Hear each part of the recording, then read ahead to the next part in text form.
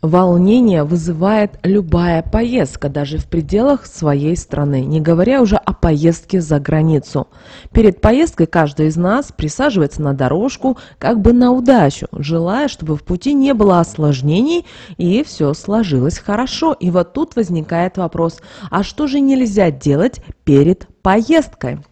Как правило, э, все женщины, э, собираясь в дорогу, начинают приводить себя в порядок, делают маникюр, моют голову. Считается, что волосы накапливают много энергии, а вода может просто-навсего ее смыть. Перебегать к таким процедурам перед дорогой нежелательно, потому что все это отпугнет от вас положительной энергии и станет причиной сглаза. Заняться собой желательно за день до отъезда или же по приезду в точку назначения. Желательно в день отъезда стать с постели с правой ноги, так как это сулит вам удачу, что будет необходимо вам в пути. Вы еще с детства слышали, наверное, о том, что возвращаться с половины дороги нельзя, так как это сулит вам неприятности. И э, эта примета проверена не одним поколением, поэтому, чтобы не пришлось вам возвращаться, нужно тщательно, обязательно всегда готовиться к поездке. Заблаговременно э, подготовить необходимые документы, составить, возможно, список нужных вещей. Все это поможет избежать неприятностей в дороге и сделать вашу поездку и комфортной, и удачной. Но если все же что-то забыли, и эта вещь вам очень нужна, то вернувшись домой за ней, обязательно посмотрите в зеркало, проговорив при этом такие слова «неудачу за порогом оставляя, а удачу с собой в поездку приглашаю, чтобы мне во всем везло и удачно все прошло». Это обязательно защитит вас от негатив, негатива во время поездки. Выходя из дома, согласно учениям наших предков, э, ступайте через порог с правой ноги, так как правая нога связана с положительными энергиями, и переступив порог по правилам, вы будете обязательно уверены в том, что ваша поездка будет удачной и обязательно закончится благополучно. Убирать мыть э, полы, стирать постельное белье, э, э, одежду. Все это рекомендуется делать уже после того, как ваш близкий человек достиг места назначения. Разрешается мыть только посуду.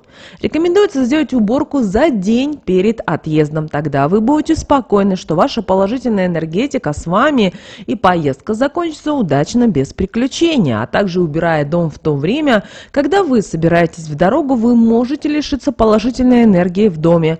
Неудачи достигнут вас по возвращению. И самое страшное то, что исчезнут денежные потоки и могут наступить финансовые трудности. Перед э, поездкой не стоит шить и штопать одежду, даже пришивать пуговицу. Нельзя вообще держать в руках иголку. Если у вас порвалась вещь, которая вам нравится, и вы хотели ее взять с собой, желательно заменить ее другой. Зашивая одежду, можно зашить и вашу удачу, и неприятности будут сопутствовать вам в пути. Старайтесь не рассказывать о предстоящей поездке кому попало. Не все вас окружающие могут с радостью воспринять вашу поездку. Обязательно найдется хотя бы один человек из вашего же окружения, который позавидует вам, что привлечет к вам негатив, а в результате этого к срыву планов и большим неудачам в дороге. Лучше так, когда вы расскажете о своих впечатлениях, уже вернувшись домой. Отправляясь в дорогу, положите в свою сумку небольшой флакончик с солью. Так вы возьмете с собой немного домашней энергии, которая поможет легче преодолеть долгий, долгий путь. Ну а чтобы ваше путешествие было удачным, можно взять с собой веточку мяты, чабреца или укропа в качестве оберега. Возьмите в дорогу как талисман красную нить, она обязательно притянет к вам удачу.